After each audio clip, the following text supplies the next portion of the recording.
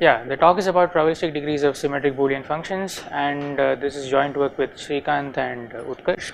So, well, the class of Boolean functions that we are interested in are symmetric Boolean functions. So, just to start with the basics, the domain of the functions is the Boolean hypercube, and uh, using the Hamming weight function. So, the Hamming weight of any vector is the number of ones in the vector. We can partition the hypercube into layers where uh, we have one layer per weight. And symmetric functions are those which take exactly one value per layer. And if you consider polynomial representations for symmetric boolean functions then we get symmetric polynomials which are also multilinear. Multilinear in the sense uh, all the monomials in the polynomial representation are square free in some sense. So let's start with some examples. The majority function is sort of takes the value 1 when the input weight is at least n by 2 and 0 otherwise this is sort of the graph. So black indicates 0 for us and white indicates 1 that's how it is. So the degree of majority as a polynomial is going to be omega n. The OR function is slightly different takes the value 0 at the all zeros input and 1 everywhere else. And again as we know the degree is n the mod function is uh, sort of defined depending on the characteristic. So, we will choose a prime that is not equal to the characteristic of the field. So, if the characteristic is, characteristic is 0 we pick some prime and if it is a finite characteristic positive characteristic then we then we choose a prime that is not equal to it in which case the mod function gives us a graph like this and the degree is going to be again omega n okay so it takes value 1 when the input weight is 0 mod q and 0 otherwise. The threshold function is a more generalized uh, uh, definition which captures majority as well as OR.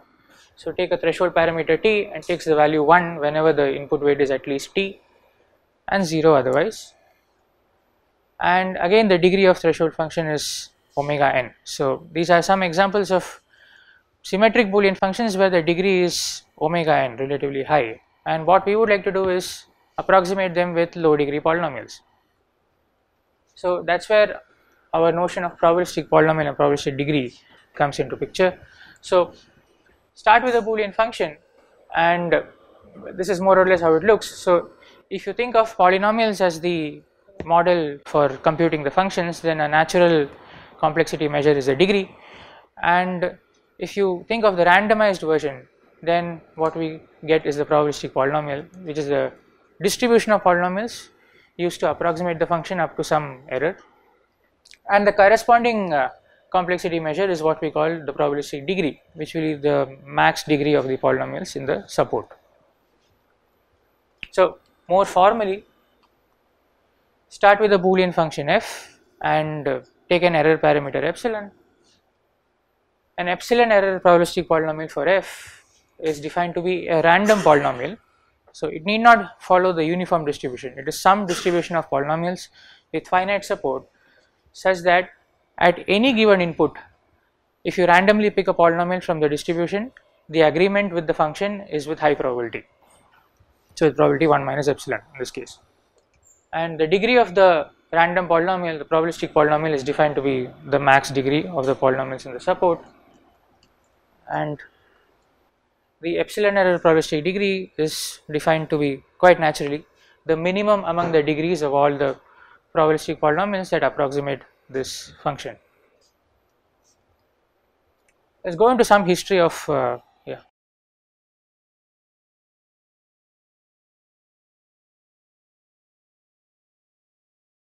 No, no. We fix a field. So, since these are Boolean functions, we are only concerned with the base field and we assume that the characteristic is fixed throughout. It could be 0 or a positive characteristic, but we fix it. Correct, yeah.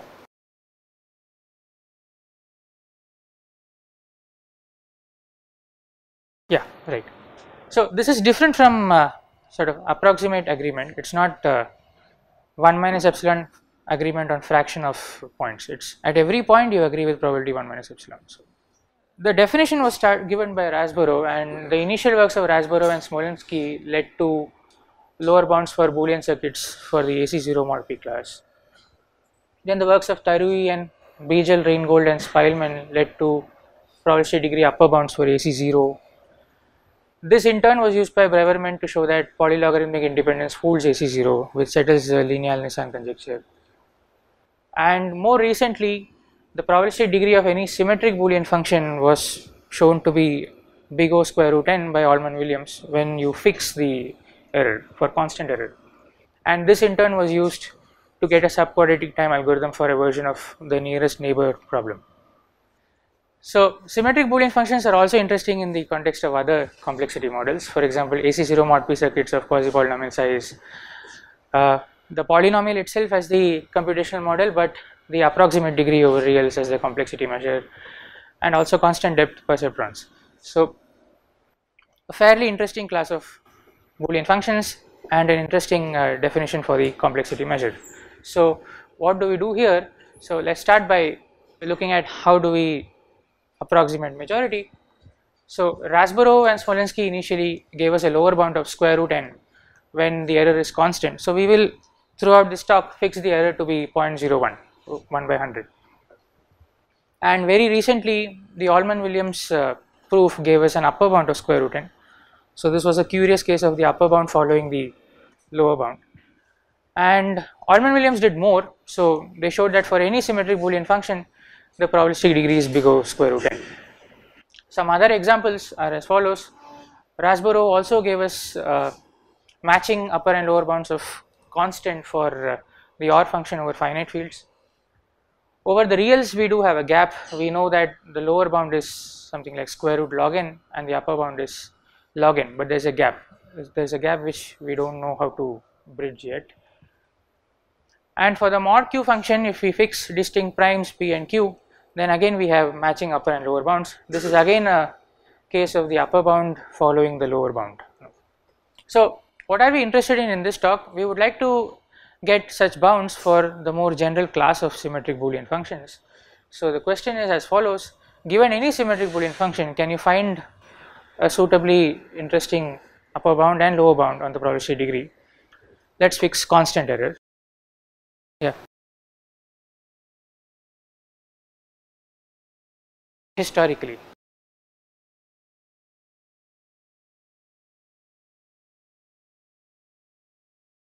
No, no, for mod q. For majority and for mod q, yeah.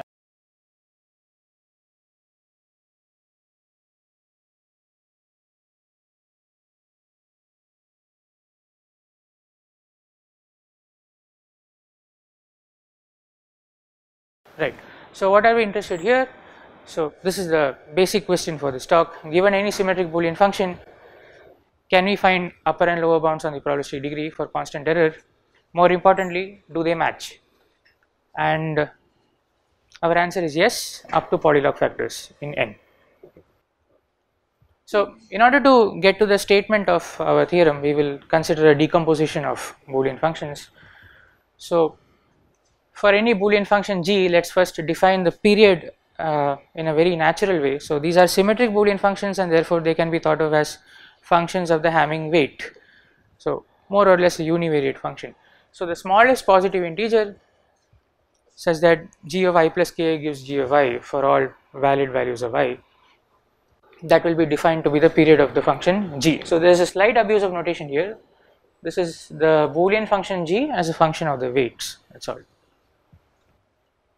and the standard decomposition of f is defined as follows. Look at the interval of weights n by 3 to 2 n by 3 and choose the function g which has the least period which agrees with f on the interval n by 3 to 2 n by 3 and take h to be the sort of the mod 2 sum of f and g.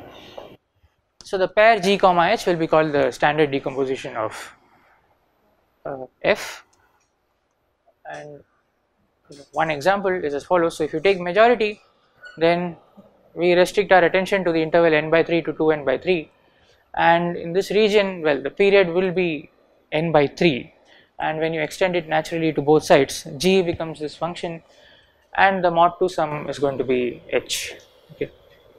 So, the point to note here is that h is going to be constant on a on the large middle region of the hypercube and probably arbitrary on the periphery right. So, these kind of functions are going to be interesting to us which are essentially k bounded functions we call them k bounded functions which are functions which are constant on the set of weights k to n minus k and take arbitrary values at the periphery. So, it is quite possible that given a k there is also a k prime which is less than k such that the function is also k prime bounded. So, we want the best value of k and which is what we denote by b of f. So, given a boolean function f b of f is the smallest k such that f is k bounded and why are we interested in this quantity it is because we will be interested in this uh, quantity b of h where h comes from the decomposition of f. So, start with a symmetric boolean function over a field f with characteristic p, p could be 0 or a fixed prime. Take the standard decomposition, h is going to be bh bounded and it is not going to be k bounded for any k that is less than bh that is sort of the observation here. The upper bounds that we get are as follows. So, if the period of g is positive and not a power of p. So, not being a power of p also includes a case where the characteristic is 0. Okay. So, if the period is not a power of p then we get an upper bound of square root n and if it is a power of p then it could possibly be lower than square root n. So, it is the minimum of square root n and this quantity period of g plus square root of b of h. So, one thing to note here is that we are only concerned with symmetric boolean functions and big O square root n is already an upper bound given by Alman Williams.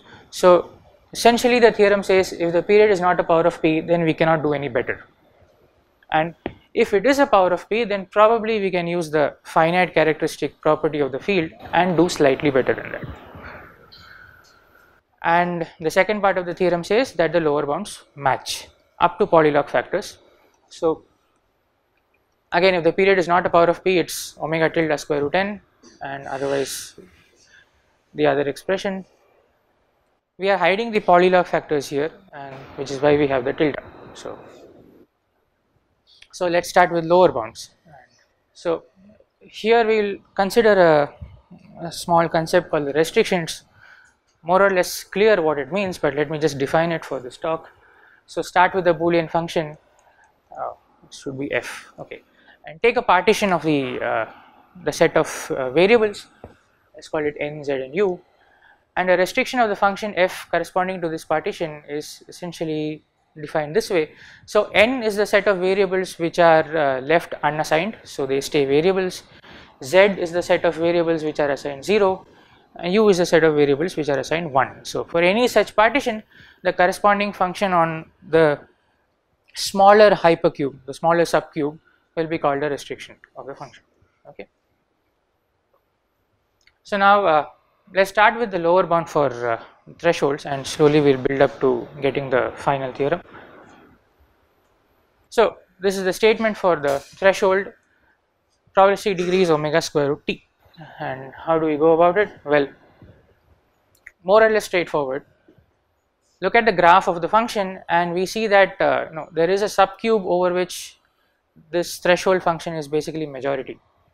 So we just restrict to that subcube and get a majority function on 2t many variables and therefore the probability degree is at least omega square root t.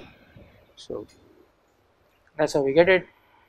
How do we go ahead from here? Let us get lower bound for h and here is where we will use restrictions.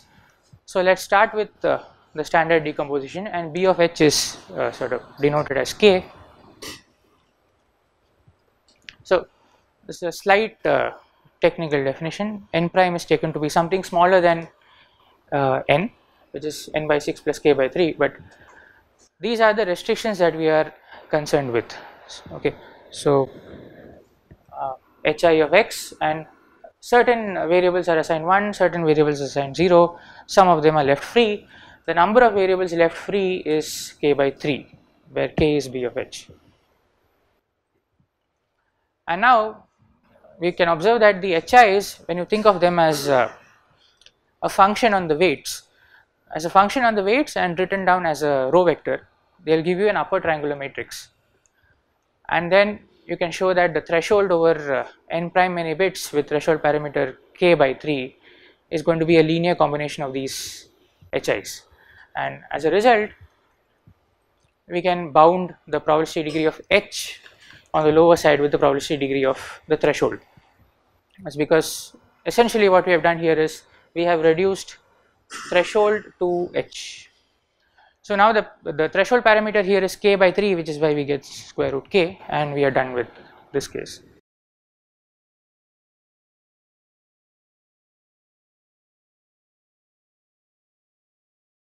Yeah, yeah, in this case as it is. Yeah, yeah.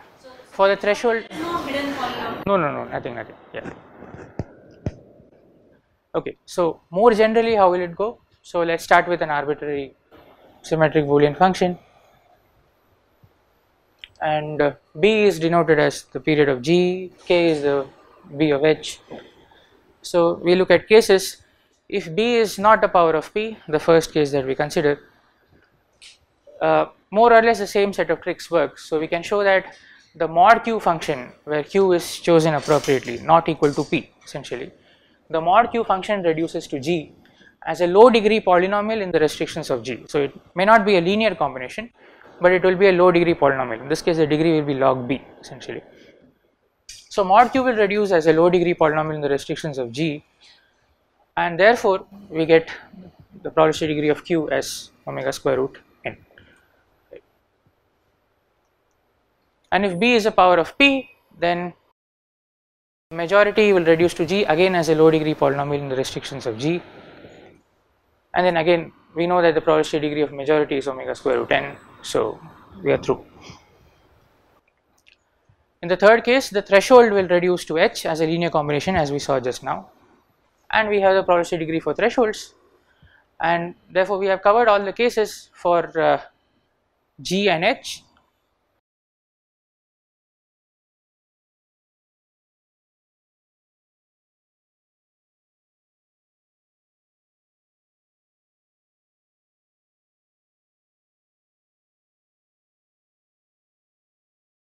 need not be XOR, right? Depends on the field.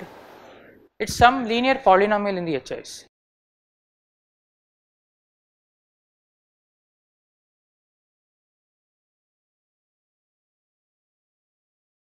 Well, the polynomial for f in terms of g and h will be, I guess, g plus h minus 2gh or something like that. So it's it's fine. Uh, doesn't depend on the field. It's g plus h minus 2gh. Yeah. So yeah. So then we combine these bounds and get the correct bound for f. So that covers the lower bound side. Okay.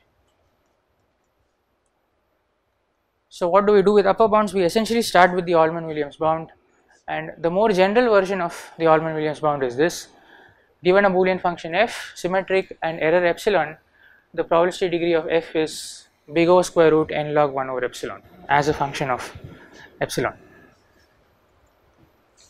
So let's start with the standard decomposition and uh, in this case if b is a power of p then we essentially write g as uh, a polynomial in the elementary symmetric polynomials and then we can conclude that the probability degree is at most big O b. And if it is not a power of p then we just use the Alman-Williams bound, do nothing. On the other hand h will reduce to thresholds as a sum of thresholds again and how do we do this uh, we will see in a, in a moment.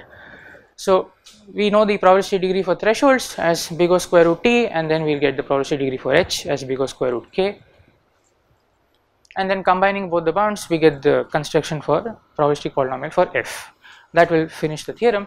So just before wrapping up a few details more. So for thresholds how do the upper bounds work? So this is the more general expression for the upper bound for thresholds as a function of the error epsilon and the proof is more or less following Alman Williams it is an inductive construction. So assuming that we have uh, probabilistic polynomials for all n prime less than n we just start with an input vector x and uh, sample n by 10 many coordinates from there and now we readily have a, a probabilistic polynomial for any error epsilon prime on n by 10 many variables and any threshold value. So if the Hamming weight of x is much larger than t then even after sampling we can uh, get with high probability that the Hamming weight of x hat is also going to be on the correct side of t by 10. So, the lower order uh, probabilistic polynomials will output the correct value. So, and therefore, we just invoke the uh, epsilon by 4 error probabilistic polynomials by induction hypothesis and output the values. In the other case when uh, the Hamming weight of x is certainly greater than t but not too far away, then we have this additional case where probably x hat jumps sides and therefore the probabilistic polynomial applied to x hat the lower order one might give us the value 0 instead of 1. So what do we do in that case? Well the Hamming weight is still in the interval t to t plus square root t log 1 over epsilon and this is the bound we are looking for. So we just ignore x hat and use an exact polynomial interpolating that uh, interval and output the value. The only change from the Alman-Williams proof is essentially the base case where well Alman-Williams only had to consider uh, epsilon less than 2 to the minus n in which case you just use the exact polynomial and you will get degree n. But in this case we have uh, an additional case of epsilon less than 2 to the minus t but uh, we essentially reduce the problem to OR and use its probabilistic polynomial. Yeah, so in summary what we do is so we want to obtain low degree approximation for symmetric Boolean functions in a probabilistic sense via probabilistic polynomials. We make the use of standard decomposition and obtain bounds on the components of the decomposition and combine them that is how we go with the proof. For upper bounds the construction is inspired by Alman and Williams inspired in the base case and in the inductive case it is the same and for lower bounds we use restrictions and reductions to functions whose probability degree lower bounds are already known. So that is our strategy and yeah that is how we map it.